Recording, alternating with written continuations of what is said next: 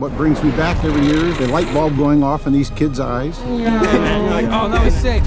Hopefully, we see these teams come together and make an event out of it. And all the various stopping points along the route that allow teams to get more miles to their record.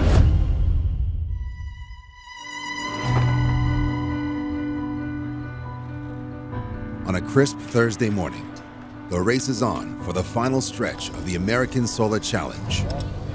Among the single occupant teams, MIT's oh, cars hold a slim lead over Principia College over the multi occupant vehicles. Have a good day. Thank you. Minnesota has risen to the top of the border, edging out Appalachian State and Montreal, whose defeat is almost certain, with an accruement of a devastating penalty. This car is an amazing vehicle, but there's always this risk that our whole annual budget on building a new car, and it might never leave the starting line. Yet, with every risk, there is that reward relationship. If there's one winner, but everybody who races gets to know we at least put our car out there. And it might have gone one lap or 2,000 miles, but at least we tried. This is Illini Solar Car Support to MIT Convoy. Are we allowed to pass over? Principia is right in front of us. Car passing. Sponsors play a crucial role in building more sustainable race cars by providing resources and financial support. Racing solar cars is itself a really expensive expenditure. Their investment allows teams to incorporate cutting edge technology and equipment, thereby giving teams more creative freedom. Our rough estimates are that a race like this is anywhere from thirty to forty-five thousand dollars of cash to pay for race budgets, to rent our vehicles, to get our team members the food and lodging they need.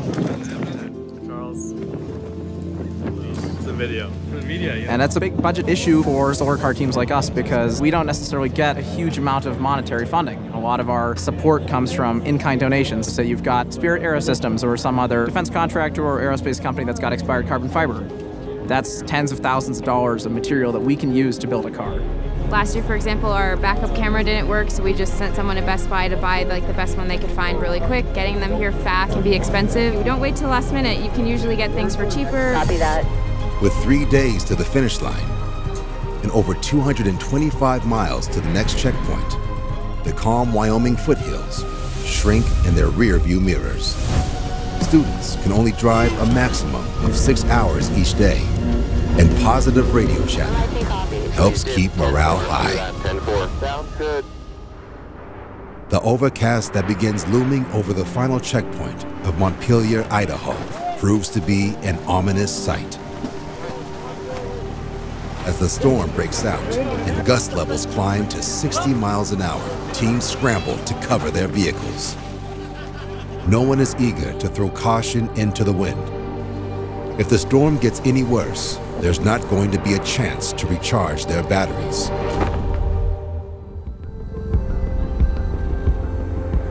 Should I There? I can talk to you though. Okay. we have our captain, our vice captain, and our systems lead, and three of them are in charge on a top level, and then we have all of our technical leads like mechanical, electrical, etc. Our mission today is to finish this loop and then we evaluate whether we're going to do another loop. Um, it's unlikely weather will get any better here, and there's no sunshine for most of the drive to the next. I'm gonna speed ahead, pull off to the shoulder, and let them go by me, and then come on out. Everyone have their eyes open. Don't let personal sense get in the way. Tell people if you just think something might be unsafe. Everyone be eyes and ears for everyone else. Our caravans have been close together for a while, especially yesterday. We were following them over the rolling hill. MIT and Principia were the only teams that achieved the Montpelier Challenge Loop, My butt hurts so bad. putting them ahead of the other four SOV cars. Energy for today. Oh, I can't disclose that information. top secret, super secret. Minnesota's steady gait remains unchallenged as they lead the MOV class over Appalachian State and Montreal. Only 86 and a half miles separate Montpelier and Pocatello, Idaho, the final stop of Stage 3. Relatively speaking, it's a short drive. Tomorrow will be the final day of the American Solar Challenge. As the teams pass the checkered mark on the ground, Pocatello closes out Stage 3. Between now and then, anything can happen.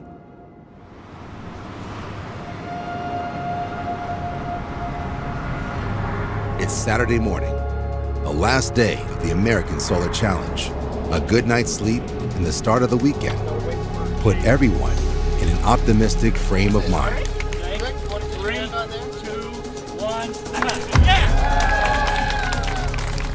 The final destination is Twin Falls, Idaho.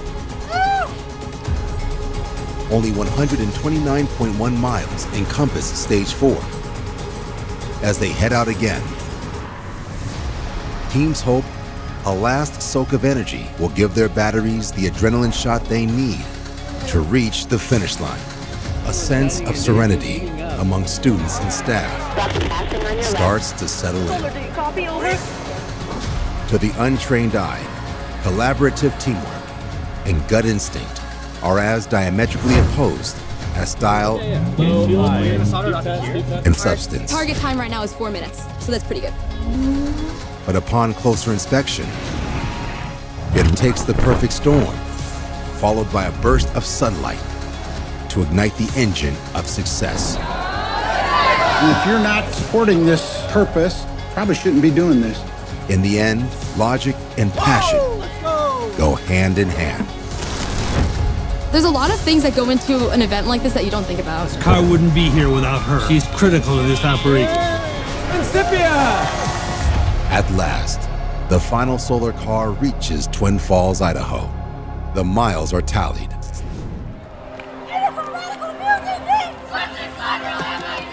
Emerging in first place with a total of 1,940 miles. MIT, the Massachusetts Institute of Technology,